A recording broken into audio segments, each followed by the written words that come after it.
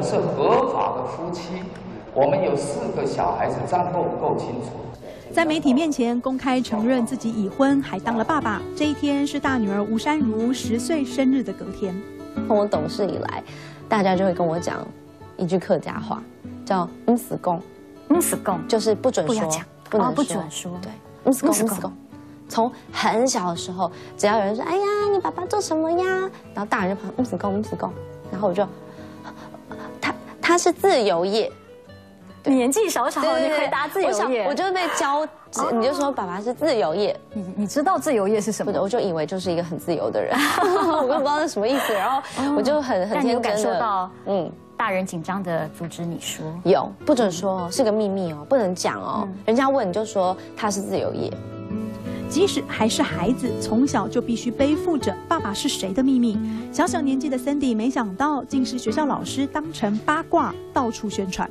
学校老师看资料会知道，他们会好像发现了一个秘密，然后呃就会开始去谈论。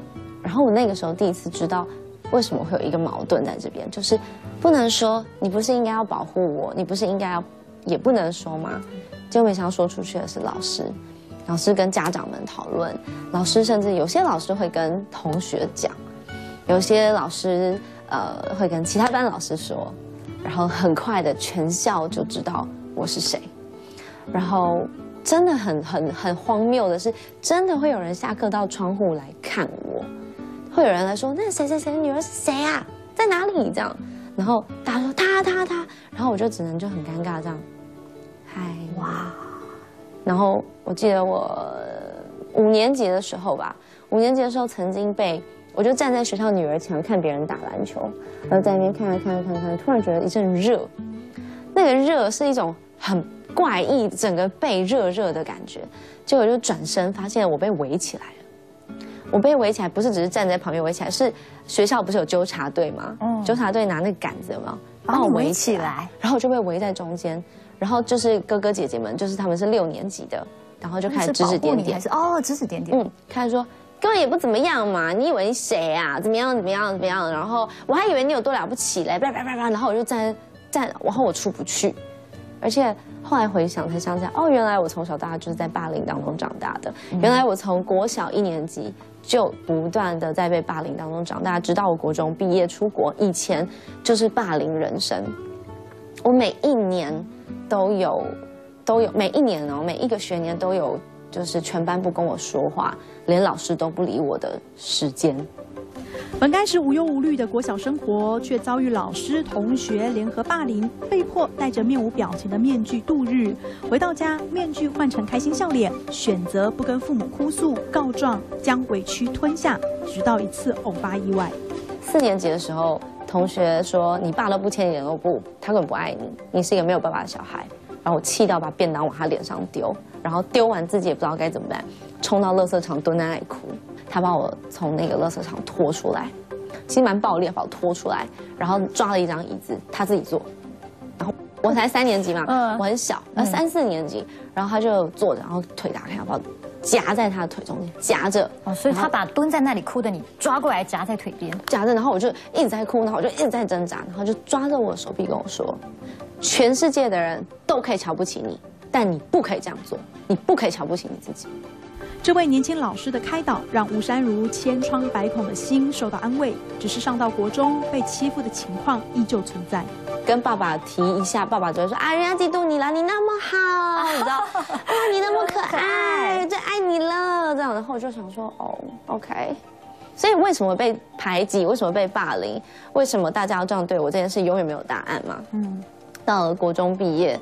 出国，对呀，你其实十四岁就出国了，这肯定是另外一个阶段。对我好兴奋，我想说 yes，我有一个全新的过程了，我不需要告诉别人我爸的工作是什么，我不需要要出国。第一个居然是想到这个，对啊，我终于不用一个没有人认识爸爸的地方，对，没有人认识，然后我可以重新重新的来过，我可以哦，从前面学到的这些，讲话不要白目哦，不要去惹别人生气哦，然后呃嗯。提到家庭啊或什么的，你就轻描淡写带过就好了。然后我就出国了，结果没想到人家才不在乎这些，人家在乎的是你是亚洲人。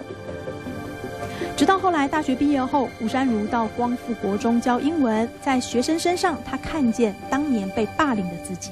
One bird in hand，一鸟在手，One bird in hand，hand better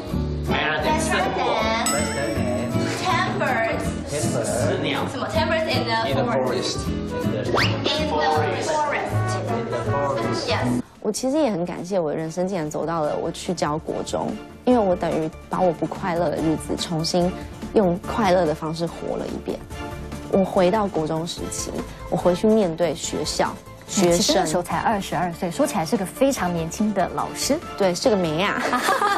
我常常说 班蛮皮的哦。对，我在全校最皮的班。上课时间，是怎样都幼幼班的吗？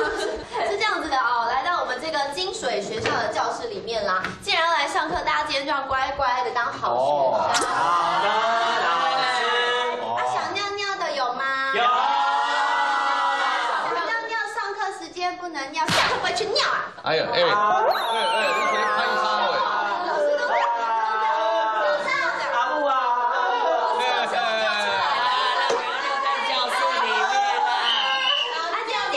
仔细听，仔细听，我们先乖乖的上课，好不好？想要成为学生们的浮木，记得一辈子的师长，但是自己却不知道，原来这些孩子才是自己的心灵导师。当年被霸凌的伤口，一点一滴被孩子们一寸一分的缝合。他天生舌头比较短，所以他讲话是有点怪怪的。他不会叫我老师，他叫我呵老呵这样。那通常这样的孩子，在我的既定印象里，就是你很有可能会被排挤、被欺负。可是我不知道为什么，他他健康教育到不行哎，他爸妈把他教育到，他完全不认为这是一个问题，他认为甚至认为这是他的专长、他的特色，以至于没有人会欺负他哎。我讲话就这样啊。然后我就觉得哦，OK，好。那上课他很皮，又非常爱讲话。有一天呢，一直讲话，一直讲话，我就真的受不了。我说你给我站起来。我说你是都会了是不是？哦，老呵，我都会啊。然后我就说你都会来啊来。今天讲的是那个星期一、星期二，你会讲吗？老呵，星期一就很忙给。然后我就忍忍忍，然后全班就大笑嘛。然后我就说不行不行，不能不能笑，我要有老师的威严。他竟然说。哦，我够讲给你听好了，忙给苦给温给喝给 坏给开口给安康给，然后真的会啊，天哪，真的会耶！可是怎么那么好笑？我就发现这孩子是个宝，他一点都不在乎别人看到的他，说是别人标签里面的他的不够好，他非常的爱他自己，而且 What's so wrong about it？爱自己有什么错呢？像教了我一件事情，就是别人告诉你的，你要吃进去。那就真的吃进去喽。但是如果你把它转换成一个优势，别人说你哪里不好，你试图把它转换成一个优势，才是最大最大的重点。